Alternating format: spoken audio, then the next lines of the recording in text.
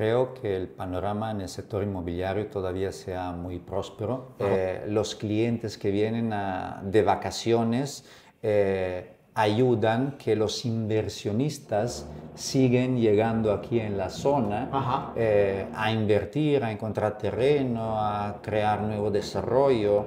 Tulum, con el nuevo aeropuerto de Tulum, eh, se ha convertido y se ha fortalecido como en otro destino turístico muy importante. Quería saber si esto tú me lo puedes contestar.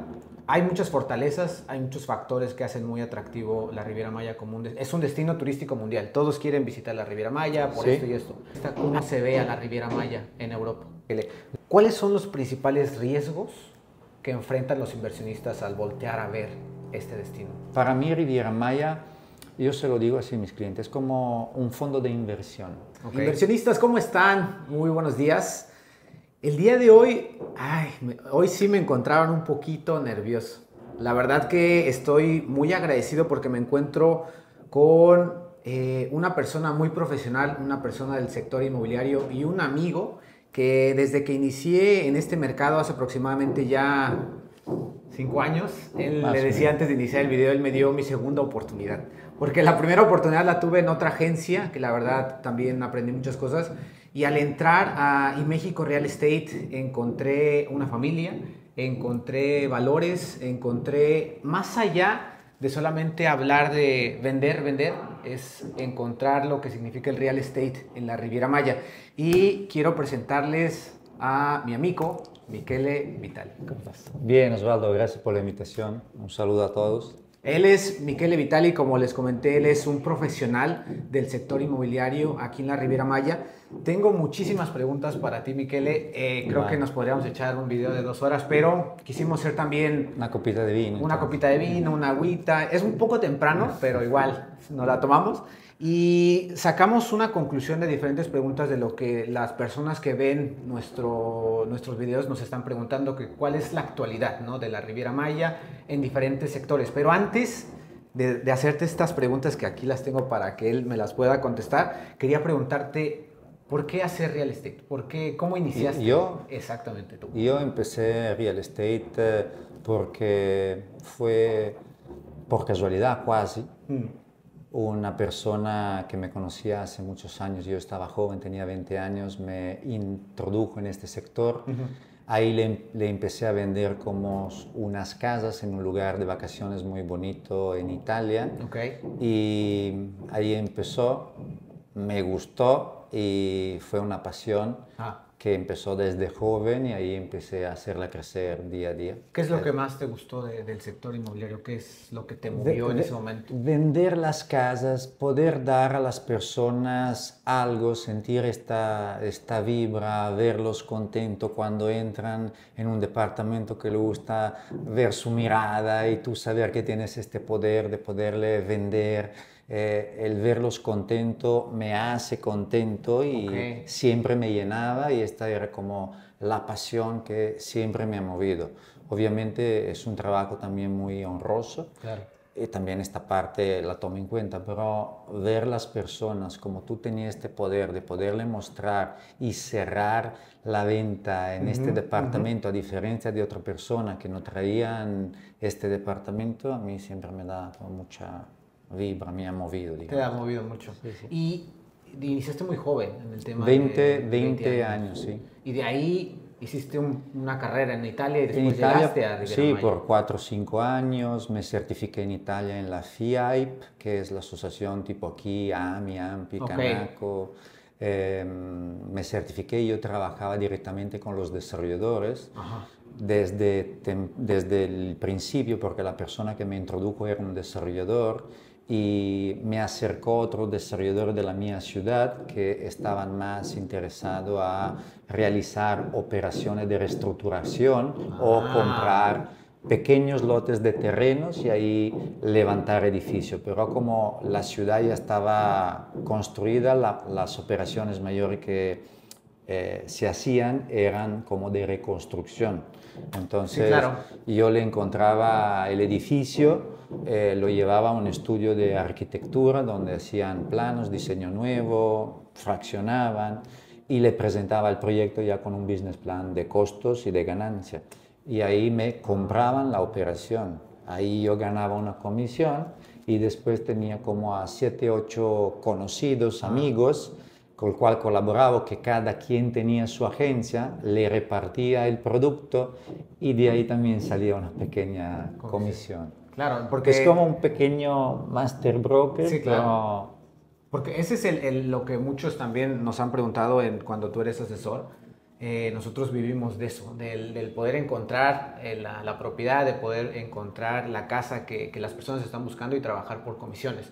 Entonces, ese sentido eh, lo iniciaste muy joven y después llegas a la Riviera Maya. Llego a la Riviera Maya y cuando llego a la Riviera Maya, para mí, aparte, digo, encontrarme con el idioma, eh, era muy difícil llegar a encontrar eh, el dueño de un terreno, porque tal ah. vez los terrenos ya eran como patrimoniales de familias muy importantes de lo Yucatán, de aquí de la Riviera. Entonces empecé a vender departamentos. ¿Cómo empecé? Acercándome a las obras que se estaban construyendo aquel entonces y de ahí llegaba a los desarrolladores, donde creaba una pequeña ya relación y de ahí de poco a poco una buena relación que sigo llevándome el día de hoy.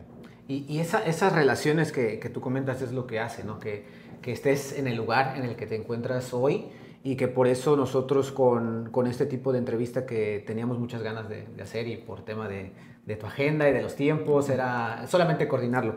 Eh, actualmente, ya con esta experiencia que tienes en el mercado de, de Riviera Maya, ¿cuál es el panorama actual que tú ves en el sector inmobiliario en Riviera Maya?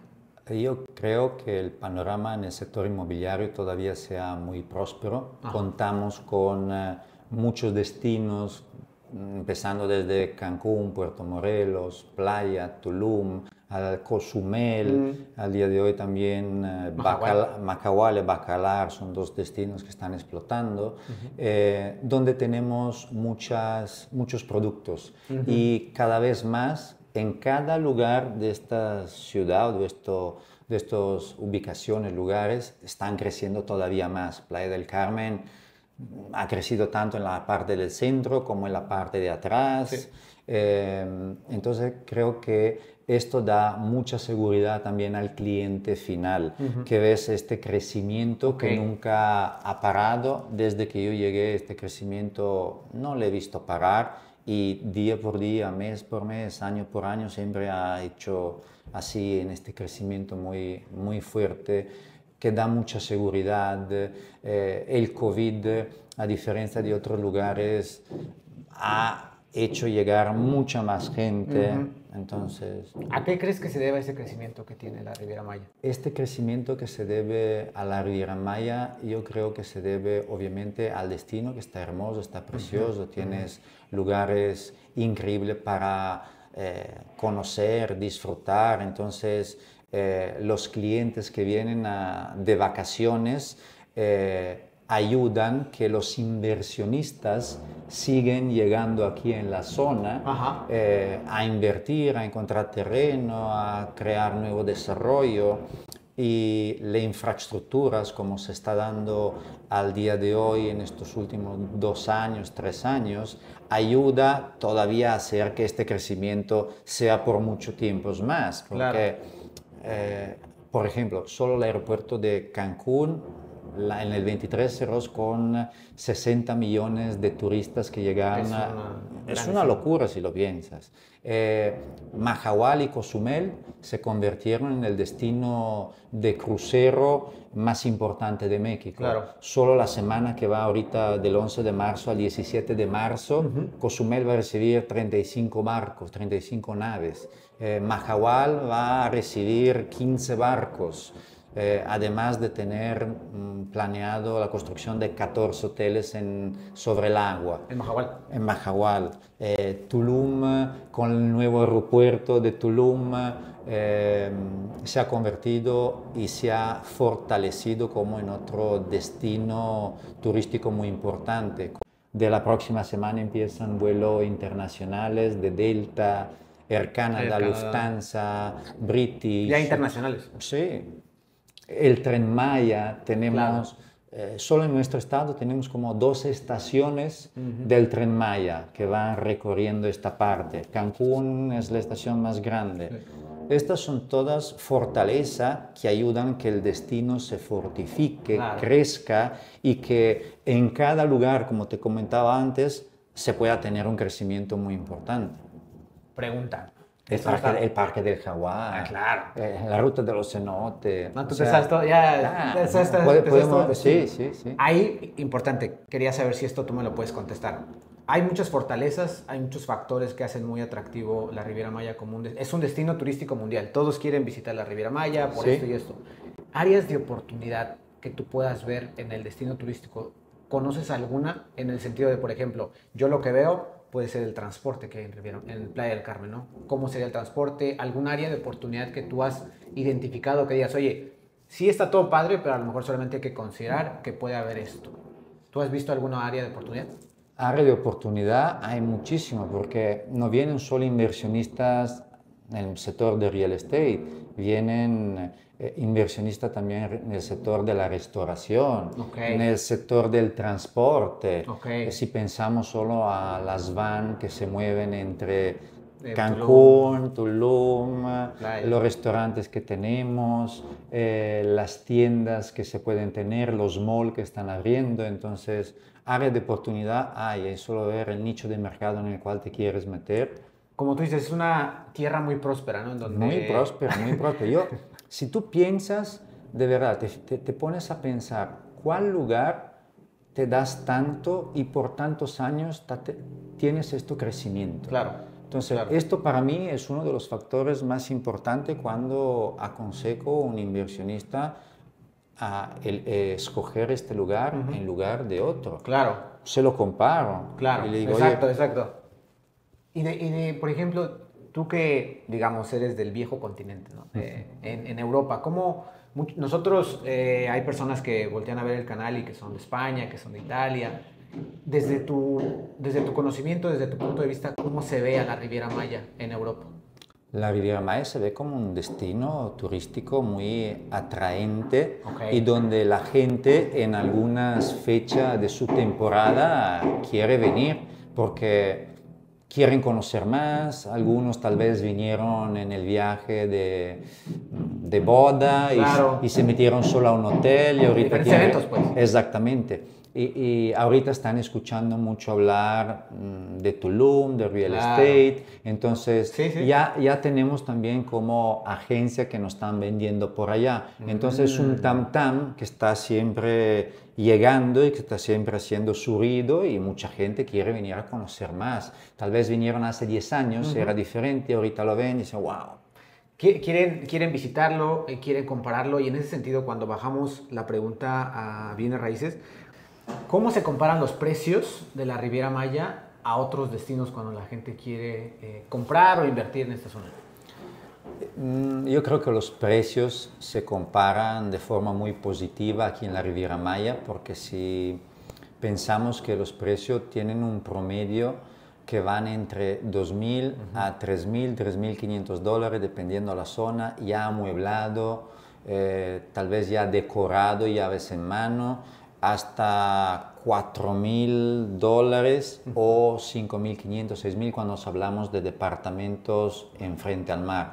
Entonces, si pensamos que una unidad de 50 metros empieza en 135, 140 mil dólares, hasta unidad de dos habitaciones en 200 mil dólares, dos habitaciones low-cost, yo creo que son precios muy accesibles y muy buenos por estar en un lugar que te ofrece tanto y que caminando, o sea, literalmente en tres minutos, en cinco minutos, en 15 minutos estás en la playa. Claro. Y estás en un lugar donde vives así, tranquilo, bonito. Claro, y que de hecho eso que, acaba de, comentar Miquel en el, en el tema de, ese tipo de precios y de ese tipo de productos que también la gente está buscando con el tema de inversión, los podemos ver directamente con ellos. Todos los eh, listings los van a tener en la página de internet y están también en el, en el video, les voy a dejar aquí el link para que vayan a ver el showroom en el que estamos, que otra vez te agradecemos por la visita a Macondo. Fase 2, estamos en fase 2, pero lo que está comercializando ahorita... Fase 3. Fase 3. Sí. Y estás a tres minutos caminando a la playa. Sí, tres, literalmente tres minutos. Entonces, eh, ahí también para que eso lo tengan eh, pendiente y lo puedan conocer. Y también quería preguntarte, Miquele, ¿cuáles son los principales riesgos que enfrentan los inversionistas al voltear a ver este destino? Bueno, los riesgos... Y desafíos, riesgos y desafíos que ellos... Riesgos como en todas las plazas donde te vas a meter, comprando, digo, algo en preventa, que es lo que normalmente nosotros vendemos prevalentemente, es tener el riesgo que tal vez el desarrollador eh, no cumpla, no construya, que se vaya. Entonces, estos son los riesgos que puedes tener. Eh, y obviamente con nosotros todo esto no pasa, porque hay un previo due diligence hacia el desarrollador, si es un desarrollador nuevo, obviamente Em, donde se va, se tienes que revisar papeles legales, licencia de construcción, permisos, si tienen prueba de fondo, eh, que, la, que la empresa sea constituida, mm. que el terreno sea escriturado.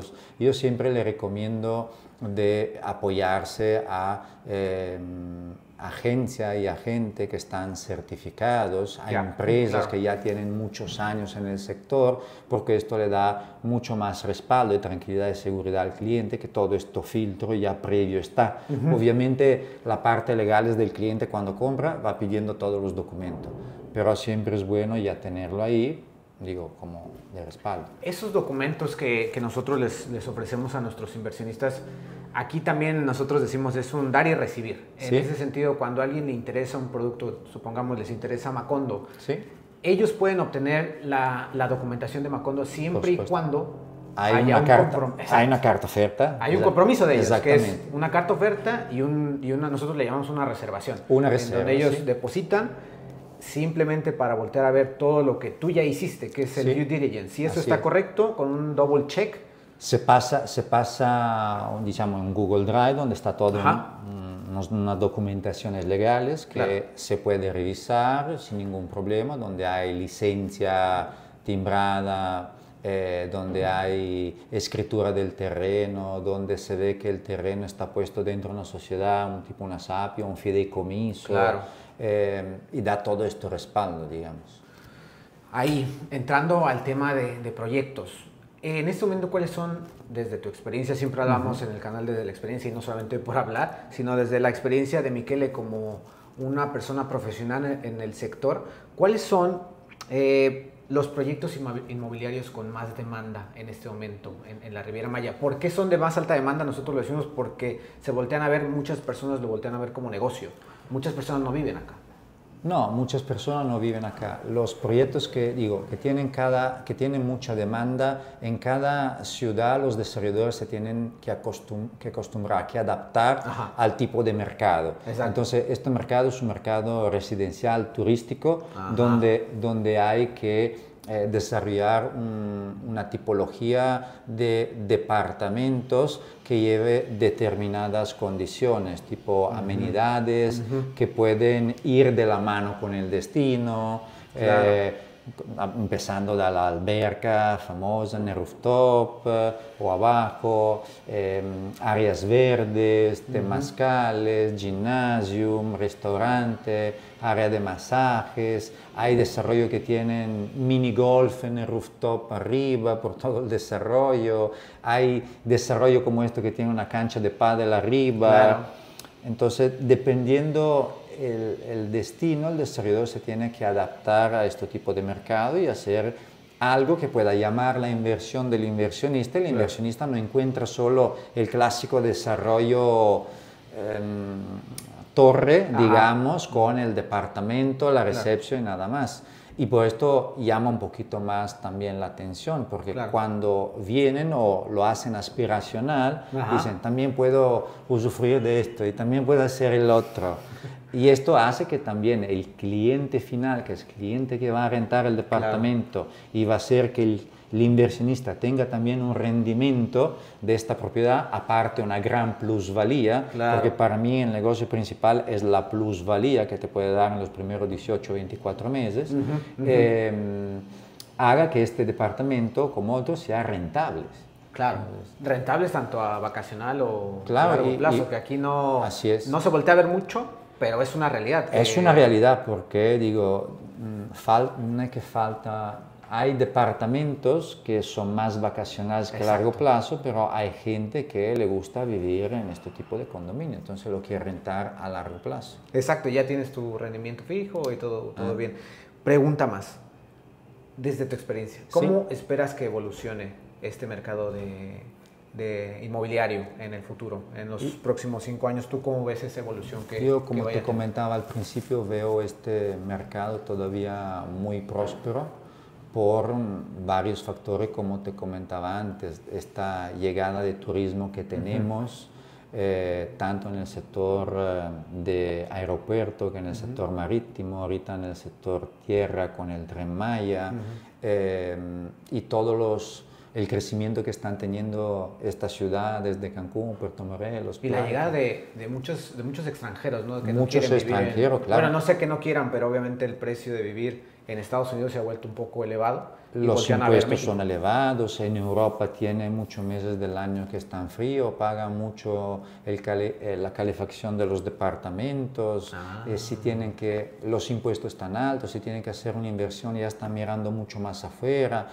aquí tienen este tipo de ventaja que 12 meses al año hay este clima que está aquí afuera y los impuestos todavía están relativamente eh, relativamente gestionables y la rentabilidad que tiene el departamento ayuda a tener una, una ganancia constante todo el año que en otros lugares no puedes tener. Esta pregunta no estaba en el script, te la voy a tener que hacer, pero eh, es una pregunta muy general que también hacen en el canal porque eh, los, los proyectos que más se ven en el canal es Tulum y es Playa del Carmen. Desde tu experiencia, ¿cuál sería o quién tiene, por qué invertir en Tulum y por qué invertir en playa? Para mí no significa que uno es mejor que el otro. Para mí uno te da una cierta rentabilidad y Tulum te da una cierta plusvalía porque Tulum es muy pequeño. Pero hay, pro, hay pro y contra. Exacto. Playa del Carmen es más desarrollada a nivel también de infraestructura, tiene más tiempo, eh, ha crecido también mucho más en la parte de atrás. ¿De la jungla? Eh, sí, donde antes eh, todavía había jungla, entonces Tulum está en este crecimiento, digamos, a nivel de infraestructura, se está metiendo al día. Em, no hay todos los servicios, digamos, que tenemos en playa. O, hay los servicios, pero son muchos menos. Exacto. Entonces se ve más como lugar donde ir a vacacionar. Son, mm. también va gente a vivir porque le gusta que sea más natural, con menos gente, ¿eh? pero sí, hay esta diferencia. Y después hay, otra, hay otros lugares, tipo Puerto Morelos, Mahahual, eh, que están creciendo muchísimo y para mí son lugares donde el inversionista al día de hoy tienes que tener la mirada. Porque claro. Antes llegas, mejor eh, ganas sí, claro. como inversión si llegas por primero. Entonces es ahí donde estamos metiendo como una banderita. Perfecto. Antes de terminar este video, Miqueli, de verdad te agradezco por tu tiempo. ¿Qué consejo les darías a los inversionistas que quieren que ya han invertido, que quieren hacer su primera inversión en la Riviera Maya para que lo hagan de forma adecuada? ¿Cuál sería el consejo desde tu experiencia? Mm, más que consejo, me gustaría hacerlo reflejar sobre dos cosas. Mm. Uno, que siempre, como te comentaba antes, se apoyen con personas profesionales, certificadas, que tienen experiencia y con empresa respaldada para que su inversión sea segura.